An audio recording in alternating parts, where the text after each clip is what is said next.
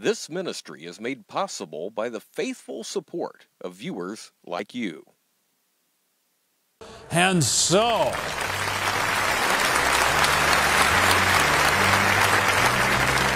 this is the day that God has made. We will rejoice and we will be glad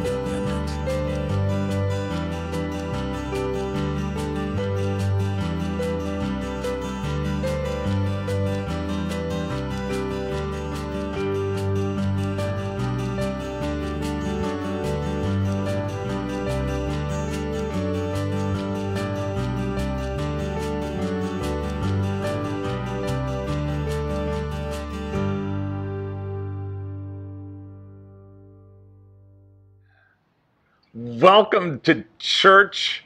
Uh, it's a pleasure to be able to have you join our church with no walls. We've been doing this for a few years now, and it's just a really enjoyable experience when we're able to gather uh, literally around the world, north to south, east to west, no boundaries, no boundaries in time, no boundaries in, in distance, just the desire to be together. Yeah, welcome to church, everybody. And we know that there's a lot of people joining us from all over the place. And we're just happy to be here. We love coming to you every week, mostly from this beautiful park here in Irvine, California. And other times when we're traveling in other areas of the world, we come to you from other areas in the world, wherever we are. We do this every Sunday morning and Sunday evening. So, uh, and then of course it's on Facebook and then on YouTube anytime forever and ever and ever, hopefully. well, that's, that's the beauty of things on demand. You know, I was looking up the history of, of our recording devices. When we grew up, we didn't have any video on demand ever. No. Never. Not No. until not until the early 80s, late, late, late 70s, we started having some recording devices. And other than that, there was mm. nothing on demand. Today, everything is on demand, even church. And I don't have a problem with that. I don't think God has a problem with that. He wants you to call upon Him. He wants you to say, hey, I need you now. And He wants to respond to you. And that's the beauty of having a church with no walls. There's no boundaries, it's on demand. And God is there to be able to meet you where you are today because He wants to touch your heart and bring healing and hope and goodness there. And today you're talking about, I know your sermon's all about stamina. And when I think about stamina, I think about endurance and staying the course and uh, being faithful and being courageous and being strong and all the things we learn about if we study Yeah. the life of Jesus. And, you know, it also reminds me that, you know, unfortunately there's, there's so many people going through so much just the ones we know about through our international ministry. We still you know pastor people all over the globe. Unfortunately we can't touch everybody but we do stay in touch through emails and and through our prayer community and all that. And it's just so sad to think about the things that people go through. And yet on the other hand they they get their strength from from God from their faith in the Lord because you know even though life is really tough and life can be what we call even bad sometimes you know God is Very al- challenging. God is always good always He's always there, just as real as this service is always there, so God is always there. If you don't have the ability to connect with with us through through Facebook or YouTube, you can absolutely connect with your heavenly Father through prayer. That's why we have our prayer communities. That's why we're here to be able to give you what you need to be able to have the stamina that is required for you to be able to fulfill the, the calling that God has given you today, tomorrow, and forever. So, in fact, this might be a good time to invite people. Go to drschuller.org and then you click into Vital Living and look at our, in there you can click into our blogs, you can click into our videos.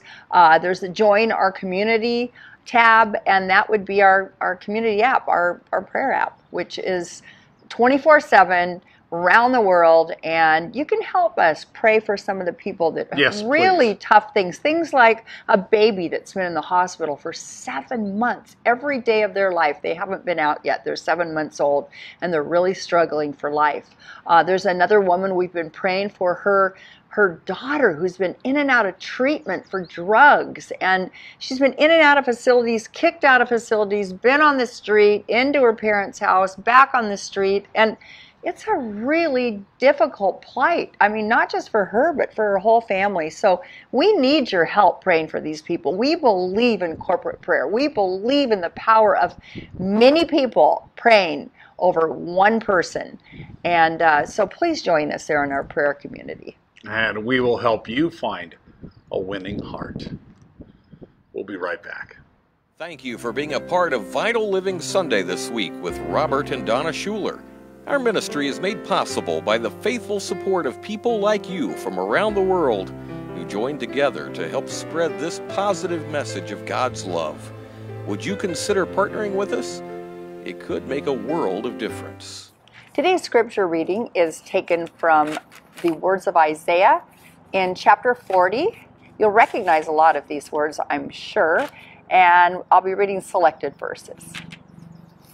You who bring good tidings to Zion, go up on a high mountain. You who bring good tidings to Jerusalem, lift up your voice with a shout. Lift it up, do not be afraid. Say to the towns of Judah, Here is your God. See, the sovereign Lord comes with power, and his arm rules for him. See, his reward is with him, and his recompense accompanies him. He tends his flock like a shepherd. He gathers the lambs in his arms, and he carries them close to his heart. He gently leads those that have young. Do you not know? Have you not heard? The Lord is the everlasting God, the creator of the ends of the earth. He will not grow tired or weary, and his understanding no one can fathom. He gives strength to the weary and increases the power of the weak. Even youths grow tired and weary, and young men stumble and fall. But those who hope in the Lord will renew their strength. They will soar on wings like eagles. They will run and not grow weary. They will walk and they will not be faint. And we know that God always adds his blessing to the reading of his word. I'll be right back for our morning prayer.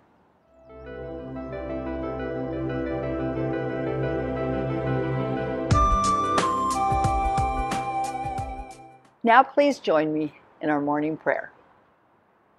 Dear God, thank you that you are an amazing Lord who never tires, who never grows weary, who's there for us through thick and thin.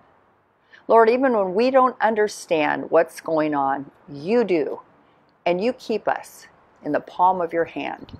You keep us like a shepherd shepherds his sheep. You keep us safe from harm. You guide our way. You rescue us when we go off tilt. Thank you, Lord. Thank you for being the great provider, the great shepherd, our Lord. We love you. In Jesus' name, amen. No matter where you are in the world, you can be a part of this dynamic faith community. Go online to drschuller.org today and download our community app. There you can request prayer and pray for others. Receive positive, encouraging content from Dr. Schuller and more. Well, today we'll come to Isaiah 40. You know, my my uncle wrote all of his notes on all of these matchbook covers, and throughout the past few weeks, we've been looking at the various passages that he wrote down, and we're down to the last two. I can't believe it, but here we are, down to the last two, Isaiah 40. Isaiah 40 happens to be one of my favorite passages in the Bible. I, I remember asked, being asked to read Isaiah 40 by my, my reading professor in Fuller Seminary. I actually took oral reading. It was an elective class, and it was probably one of the best things I did was taking this oral reading class. And I started reading, and it just the scriptures just came alive and i just it just meant so much to me to be able to to read this scripture orally and publicly in front of my classroom and and my professor was did a magnificent job of of, of guiding me and leading me and and since it became one of my favorites uh, favorite bible passages. I actually wrote a book on it. And it's, in, it's entitled strength for the fragile spirit. And and it came out back in 1989, just just a couple years ago. It hasn't been that long ago, but Strength for the Fragile Spirit, and and then of course the subtitle is Those who wait on the Lord shall renew their strength; they shall mount up with wings like eagles. And um, Isaiah 40 begins with the whole concept uh, of the of the annunciation uh, of the coming Messiah Comfort, comfort my people, says your God. Speak tenderly to her that her warfare is ended, that she has received double by, from the Lord's hands. Double for all of her sins. And, and, and it goes on to talk about, and we read the, the, the passages from the Messiah, of Mendelssohn's Messiah. Uh, he uses this passage to talk about the, the road will be made straight. But what I want to focus on today, because there's so much I could focus on and so much, I could write a whole book on the topic. there's so much I could say about this that I don't have time, of course, to, to get into all of it. But uh, because I could talk about, there's a passage I use in here when I do, do memorial services. It's beautiful understanding how all, all life is so fragile. It reads like this it says, all men are like grass, and all their glory is like the flowers of the field. The grass withers, and the flower falls because of the breath of the Lord. Surely the people are grass. The grass withers and the flower falls, but the word of God stands forever. And the word of God isn't referring to this Bible, this book, or your book, or, or, or the, the chapters that have lived throughout eons. This is referring to the Word of God. That is referred to by, by St. John when, when he opens up his gospel and says, In the beginning was the Word. This wasn't in the beginning. in the beginning was the Word. And the Word became flesh and dwelt among us. He's referring to Jesus Christ, the Spirit of Jesus Christ, who has been, always has been, always will be. He is the Alpha and the Omega. But you know, the passage of Scripture in this great, in this, in this great chapter of the Bible that I want to focus on is the last couple verses. And that is this. Even youths grow tired and weary, and young men stumble and fall. But those who hope in the Lord will renew their strength. They will soar on wings like eagles. They will run and not grow weary. They will walk and not be faint. Those are the words I want to do today. You know, if I was going to come out with this book again today, what I would do is not, I would retitle it. I wouldn't put strength for the fragile spirit. I think I, I think I'd come out with something more like stamina how to find the winning heart. We need stamina in our world today. When I look back on my life and I think physically of where I was as a young man and where I am today, I can honestly say that I am just as strong today as I was when I was 30 years old. How do I know that? I know that because I started lifting weights when I was about 30 years old. I'd lifted weights throughout throughout high school. Then I put them away, took up tennis and racquetball and running and other sports, and then I, I didn't lift weights again until I was 30 years old. And I remember the first time I lifted weights with my trainer, and I lifted up these dumbbells, and I was using 45, 50 pound dumbbells to to to do to do different lifts. Today, I'm using 50 to 55 pound dumbbells to use on those same lifts. So I know for a fact that I am as strong today as when I was 30 years old. Stamina. How do we develop stamina You know, there's different kinds of stamina. Uh, one of the, the sports that I participated when I was in high school and college was was wrestling and boxing of all things. I know that might come as a surprise to you, but I enjoyed the contact sports. And chances are, if there had been MMA uh, stuff going on, I probably would have participated in some of that. In fact, my son did. But I, I enjoyed that kind of a competition. And, and when I first started wrestling, my stamina was such that within a minute, I was completely spent. It didn't take long, and I learned not necessarily to build the stamina physically, but how to pace my stamina. When I first started wrestling, every single body of my of my, every single muscle in my body was flexing. Every single muscle in my body was being strained and and, stressed. And only as I exp- experienced more and more did I learn to relax certain muscles that weren't being used in a specific move and prepare my mind and my heart for what was going to be a burst of energy to make some kind of a switch and some kind of a change because wrestling is all about positioning and, a, and, a, and putting together a plan like a chess I'm going to do these three moves conjointly, and therefore hopefully turn my opponent in, in such a way.